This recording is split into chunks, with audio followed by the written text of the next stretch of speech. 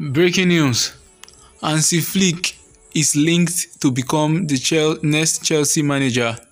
Hansi Flick was seen in a game against Fulham at Stamford Bridge with Chelsea co-owners, and Graham Potter's job is at risk because of his poor run of form despite being backed by the owners.